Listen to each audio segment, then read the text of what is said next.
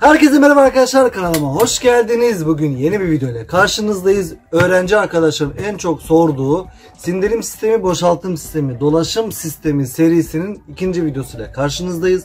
Daha önce sindirim sistemi modelini yapmıştık iki boyutlu şekilde. Şimdi de boşaltım sistemini yapacağız. Videoya geçmeden önce söylemek istediğim bir şey var. Herkese çok teşekkür ederim arkadaşlar. 10.000 aboneye geçmiş bulunmaktayız. Umarım desteğinizle daha fazla abone sayılarına ulaşırız. Sonuçta abonelikler ve e, yorumlar, videoya atılan beğeniler bizler için yeni motivasyonlar oluyor. Öğrenci arkadaşlar için farklı farklı videolar ya da e, sadece öğrenci olmayabilir. Bu tarz videolara, maketlere ihtiyacı olanlar için farklı farklı videolar çekmemiz de bize motivasyon sağlıyor. Bugün ne yapacağız demiştik? Boşaltım sistemi yapacağız. Şöyle bir şey. Artık sizi çizimlerle uğraştırmıyorum. Çizimlerimizi aşağıya koyacağım linkte e, çizimlerin e, JPEG'lerine ulaşabilirsiniz. Sadece dikkat etmeniz gereken A3 boyutlu A4 boyutlu şekilde çıkartmak. Yavaş yavaş videoya geçebiliriz arkadaşlar.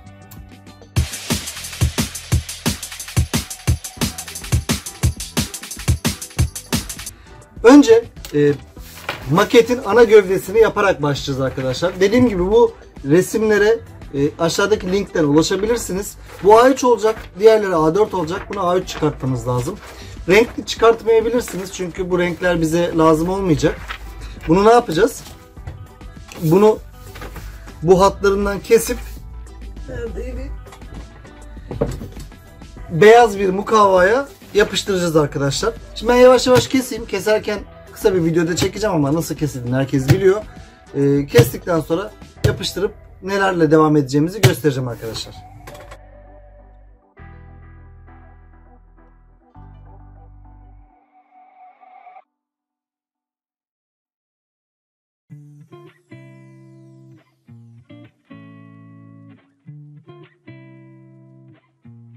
Bunu bu şekilde kestikten sonra beyaz mukavvanın üzerine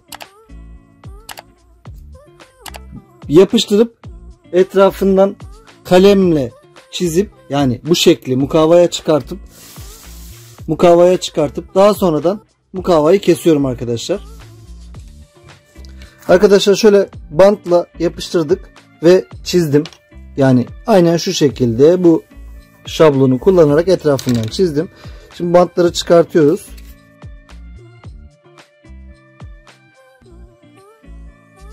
Ee, şablonumuz böyle. Bu bant yerlerinde çizip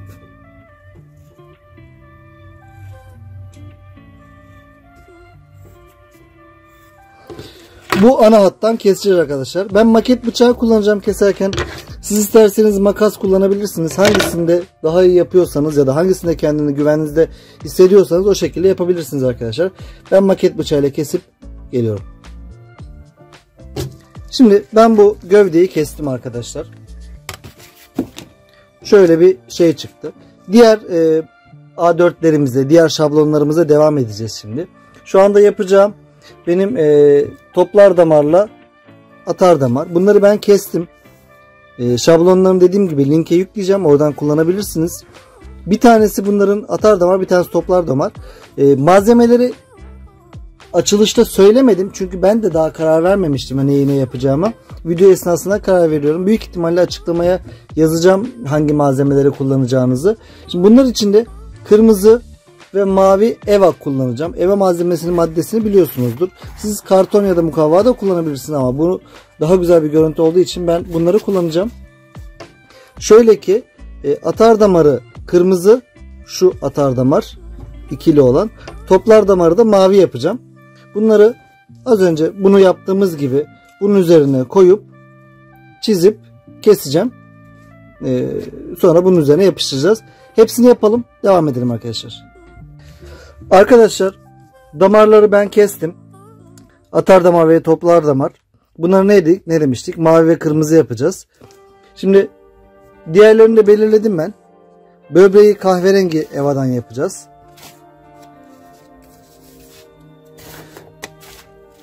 İdrar kesesini ben yeşil yapacağım. Farklı bir renkte kullanabilirsiniz. Üreteri de üreteri de sarıdan yapacağım arkadaşlar. Bunları da bunlar gibi kesip geleyim e, yapıştırmasıyla devam edelim. Arkadaşlar şimdi bütün parçaları ben tek tek kestim. Şimdi birazdan yapıştırmaya geçeceğiz. Yapıştırma için silikon tabancası kullanacağım. Siz U kullanabilirsiniz. Başka bir yapıştırıcı kullanabilirsiniz.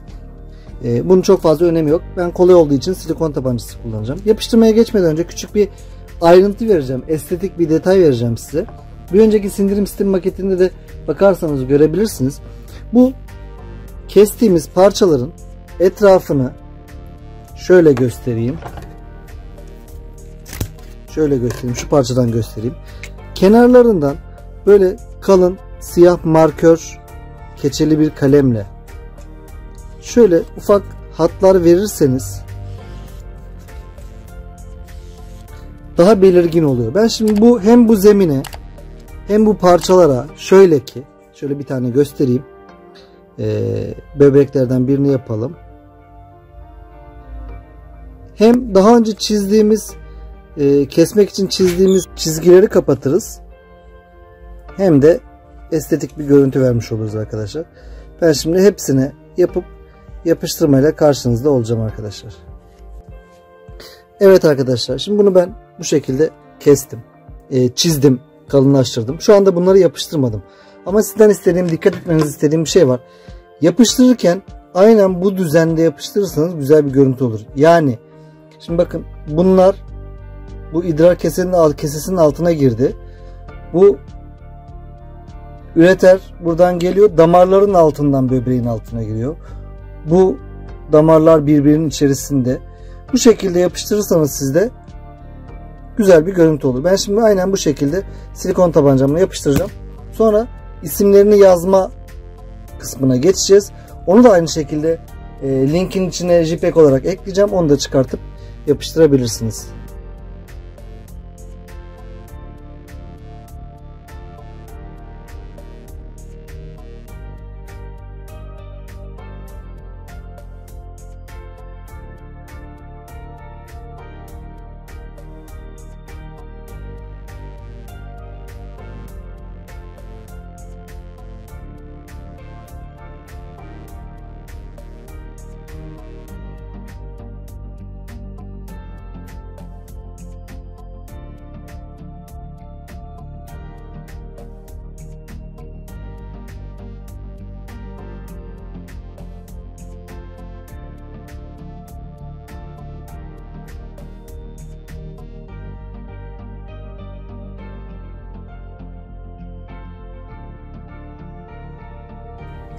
Arkadaşlar şimdi yapıştırma işlemi bitti. Ee, şöyle böbreğin iç yapısını da gösterdik biz burada. Bunu da şu böbreğin içine şöyle kalemle şekil verirseniz daha güzel durur diye düşünüyorum. Hatta bir tık daha kalem kalemle yapalım.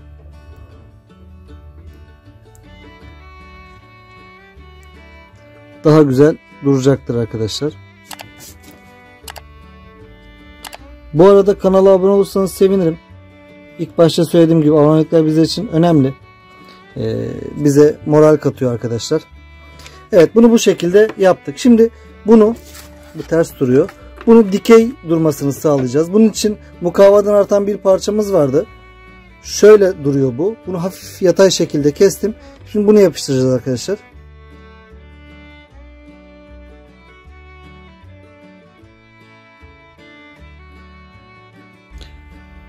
Arkadaşlar yapıştırdığımız zaman direkt bu kendi şekliyle ayakta durabiliyor. Şimdi e, yine yatay pozisyon alayım kamerayı.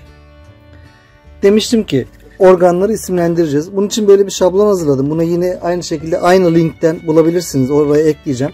Şimdi bir tanesini kestim. Şu şekilde. Kürdanlar kullanacağım arkadaşlar. Kürdana kürdana bunu yapıştırıp ne neresiyse mesela bu idrar kesesi bunu idrar kesesinin olduğu yere yapıştıracağım. Bunu videonun sonunda daha iyi anlayacaksınız. Daha iyi göreceksiniz. Hepsini bu şekilde kesip yapıştıracağım. Ve en son görüntüyle e, videomuzu sonlandıracağız arkadaşlar. Evet arkadaşlar maketimiz son haliyle hazır. Sunuma hazır. İzlediğiniz için çok teşekkür ederim. Kanala abone olmayı unutmayın. Yeni videolarla karşınızda olmaya devam edeceğiz. Herkese iyi seyirler arkadaşlar. Hoşçakalın.